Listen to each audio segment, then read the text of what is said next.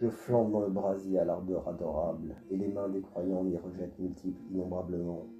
Les membres des interstices flambent auprès de moi. Éloigné du brasier les ossements, je suffis pour l'éternité à entretenir le feu de mes délices. Et les oiseaux protègent de leurs ailes ma face et le soleil.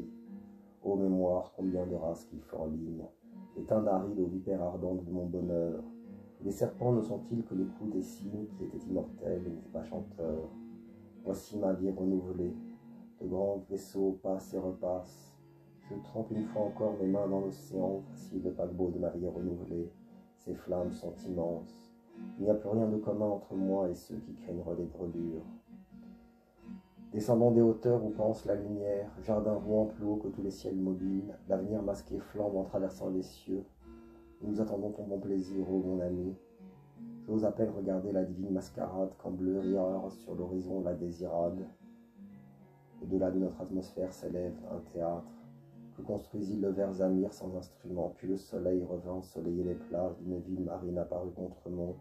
Sur les toits se reposaient les colombes et le troupeau de sphinx regagne la singerie à petits pas et l'aura, le chant du pâtre toute la vie. Là-haut, le théâtre est bâti avec le feu solide, comme les astres dont se nourrit le vide. Et voici le spectacle.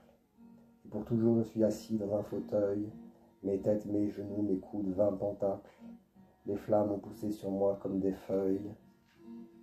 Des acteurs inhumains, clairs, bêtes, nouvelles, donnent des ordres aux hommes apprivoisés, terre, eau déchirée que les fleuves ont reprisée.